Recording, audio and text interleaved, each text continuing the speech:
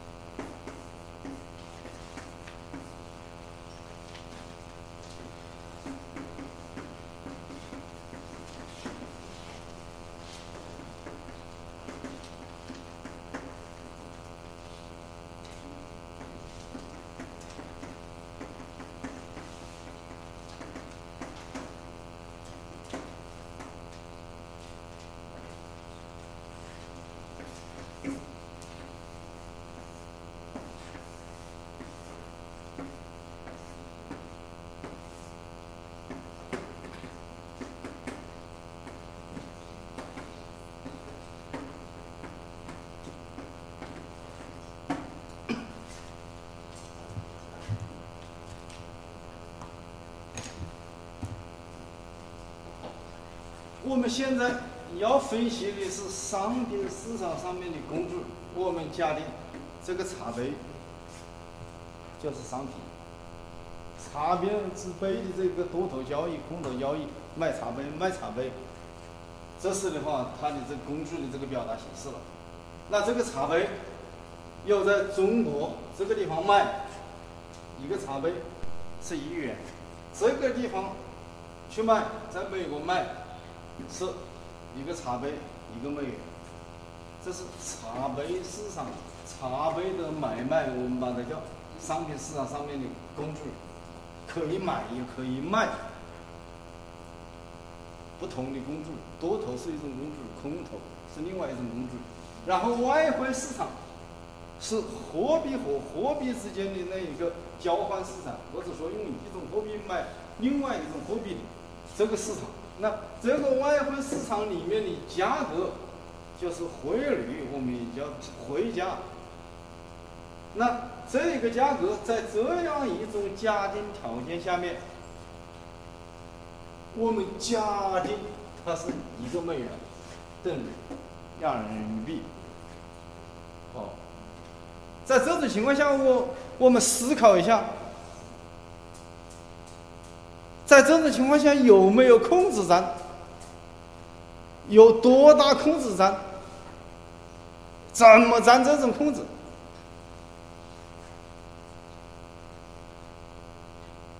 有控制站，肯定的。有多大的控制站？一块钱的控制站。怎么样来占这个控制？那就来看呐，那就看那方向了。看方向的话，是把这个茶杯拿到的话，这一个美国的话去卖，还是的话，这一个把美国的茶杯拿到这里来卖，是把这种货币换成这样一种货币，还是把那种货币换成这样一种货币？在这种情况下面，我们应该怎么做呢？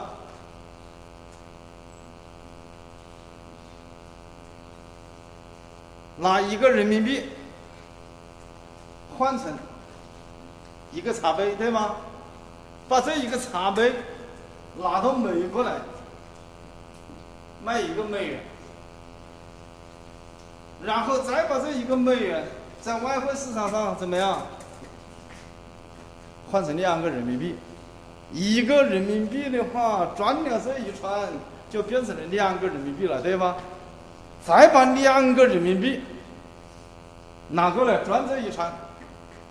两个茶杯，两个美元，四个人民币，再把它再转一圈，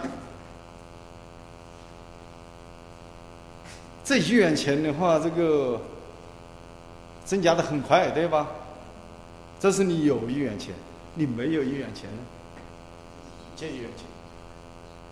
那在中国，我们中国人是可以这样干的。这个地方叫外汇买卖，这个地方叫什么？叫进出口国际贸易。好，那我们再看，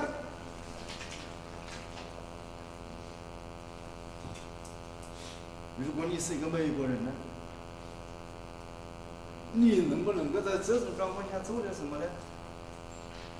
能不能？你手上拿到的是美元，好，你一个美元换两个人民币，买两个杯子，然后拿到美国来，两个杯子就卖两个美元，你一个美元不变成两个美元嘛，对吧？再把两个美元换四个人民币。买四个杯子，再转过来，那不就是四个美元了吗？你一样在这里转嘛。共同的地方是这样循环的，一样的这货币到人民币，人民币到茶杯，然后的话到这里来，整个都是这样的。如果你是个德国人呢？你手上拿到的话，现在是欧元，那你该怎么做呢？你可以怎么做呢？把你的欧元换成人民币或者美元的话，你进来参加这个循环不是一样的吗？如果你是一个日本人呢，你把你的日元拿过来，不也是一样的吗？你是非自由兑换货币的国家里的话，这个居民。你手上不能拿着现在国际上自由兑换，那就在你自己的国家里把你的货币的话换成的话，这个能够在国际上面来交流的货币，不也是可以做这事的吗？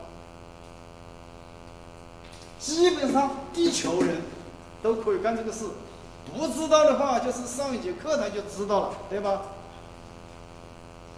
那我们再看，在这个过程当中。如果我们假定茶杯在中国的价格不变，这一个茶杯在美国的这个价格不变，这个外汇市场假定是这一个自由的，是浮动汇率的，那么它这一个价格会怎么变呢？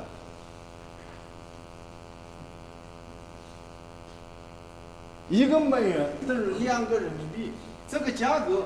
是会继续往上涨呢，还会往下掉啊？美元的价格，一个美元是等于两个人民币，我们都能掌控制，大家都来掌控制。假定这个价格不变，那么这个市场上的价格要变的怎么变？一个美元是等于更多的人民币，还是等于更少的人民币啊？更少的。少了多少呢？假定一个美元等于一点五个人民币，还会有这个活动没有？还会有这个活动，这也是叫套利活动。大家不有无套利分析吗？还是有这个套利活动，还能够套利。那么，如果它到了的话，一个美元等于一个人民币呢？还有控制站没有？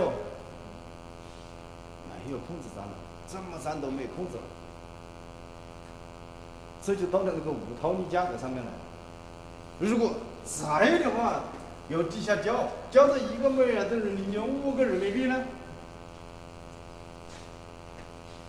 当一个美元等于五个人民币的时候，我们要做这一篇文章，你们每个人写一下，写出一篇什么样的文章出来？抒情散文的话，这个方式来表达一下。这个时候，你是应该充满激情的去干另外一件事情，干哪一件事情？反过来说噻，一个美元等于零点五个人民币，你把人民币零点五个换一个美元的话，然后的话买一个杯子，把这个杯子拿回来，在市场上面不就是一块钱嘛，对吧？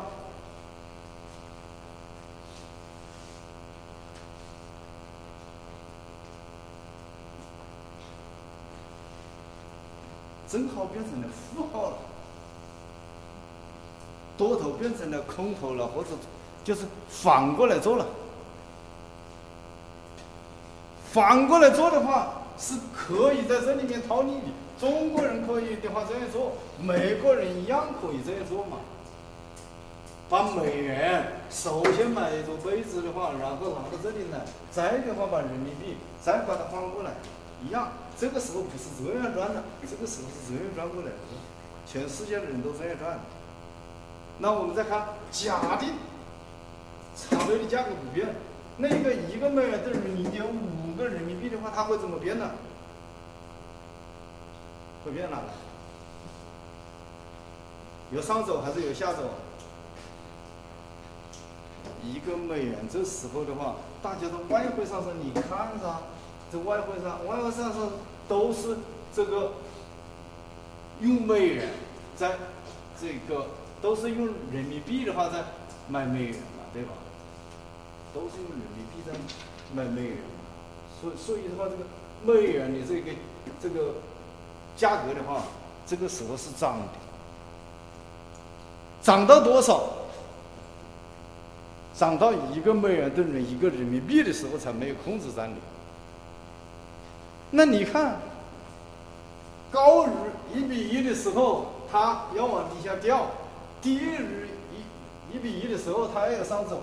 只有在一比一这一点是没有控制战略，这个价格，这一个汇率一比一的这个汇率，就是个无套利的汇率。除了那一块之外，所有的地方的话都是能够掌控制。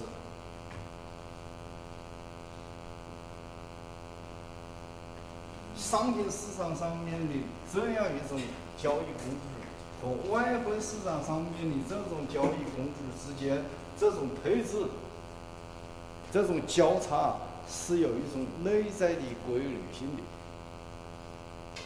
这样一种的话，这一个。一比一的这个无套利的这一个价格，在我们以前学国际金融的时候，你们是学国际金融学过了吧？对吧？国际金融研究的话，汇率的时候有一个汇率的定价理论是怎么说的？叫什么理论？叫购买力评价。购买力评价，我们换一个角度来看，在这里面的话。就是无套利分析的那一个无套利的价格，就是购买力评价。任何一种商品，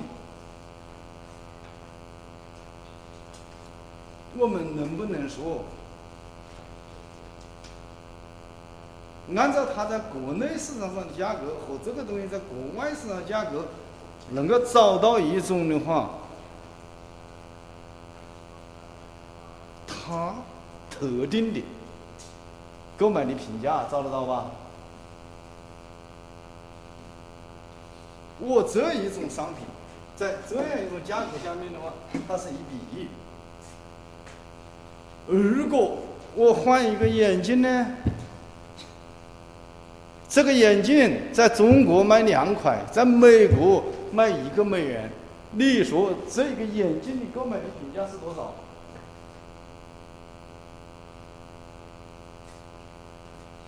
说得出来吗？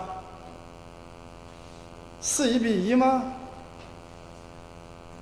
是一比二，一个美元等于两个人民币的这样的外汇市场价格是没有控制战的，只要不是这个价格就能够掌控制，要么是进口，要么是出口。任何一个商品，它都有一个购买力评价，那么市场上面只要那个汇率。跟这一个购买力评价不是一样的时候，它就可以掌控制的。我们现在的汇率是多少？一比六左右吧，一比六左右吧。好，这个假定一瓶香水，在美国市场上面一个美元，那么在中国市场上。二十个人民币，那你说在这种情况下面有没有控制战？怎么战这个控制？有，怎么来战这个控制啊？你把八块钱的话换成一个美元，买那一瓶香水的话，把它拿回来，在市场上卖二十个人民币，多出来多少钱呢？十二块，暴利十二块。为什么会有这种暴利？因为那一个香水的购买力评价是一比二十，市场上面的汇率是一比一比八，一比六，一比六那是十四块，一比六，六个美元，你看赚那么多，那你就可以看得出来，当一个商品它自己内在的购买力评价和那个市场上的汇率。是一样的时候就没有控制战，对吧？只要不一样的时候就有控制战。世界上有多少种商品？说得清楚吗？说不清楚。但是你们学了国际金融的话，这个现在的话，这个汇率它一般是几个了？一般是几个？一个，对吧？一比六嘛，人民币的这种一比六，那有有同学在底下在笑啊，在笑啊，这意味着什么东西啊？这意味着学过金融的人，学过金融工程的人，学过了这种工具的配置，懂得了之间的规律的人，在他的眼前，叫遍地是黄金，对吧？俯拾即是。怎么去死？不是做进口就是做出口，对吧？所以，国际贸易对我们学金融的人来说，只学一个东西：购买力评价。在金融工程里面，只学一个东西：商品市场和外汇市场之间的工具的配置以及它的规律，就是无套利分析。只学这一个东西。钱有了，你不管什么商品，我首先看一下。你的话，内在的的话，这个购买的评价是多少？然后市场上汇率是多少？把成本再把它打进去，然后能做不能做，能够赚多少？怎么做？这一套就出来。那你说，让你在外贸公司去当个老总的话，你还怕吗？多花点时间好不好？花一年时间把业务熟悉一下，再不行再花一年时间的话，把这外汇业务熟悉一下，再不不行的话把。保险和海关的熟悉一下，反正你在这地方受了这个课程的训练，把你放到的话，这一个的话，外贸公司去，不管是哪个外贸公司，不管做哪一种外贸生意的话，你要说你在那个地方不会做，那我们就会非常悲哀啊！那就说明那个课的话你没学好，你没听进去啊。这是这一块东西里头，就是。外汇市场的话和商品市场当中的配置，我们以茶杯为例，实际上以茶杯的话可以扩展到其他的，那你就知道这一个这些内在的规律性，你就知道盈利的空间在哪个地方，你就懂得什么情况下面做，什么情况下不做，什么时候做进口，什么时候做出口。那你说的话，这么多商品能够赚钱，还有的商品赚那么多钱，像香水的话，这一瓶香水的话，你就赚了的话，这个十几块，那我干什么？就干这个事，很好，就干这个事。但是这个钱不能都让让你一个人赚了嘛，对吧？国家要抽税，你进出来的时候要经过海关，所以那个钱你赚的那个。十几块钱里面有一部分有相当一部分是国家要抽税的，那就关税。你说我不由的话，海关走，我找那个河边找个这个树丛里面，我就钻钻进来，那叫什么？那叫走私，那是犯法。这个大学培养的人的话，一定不能去走私。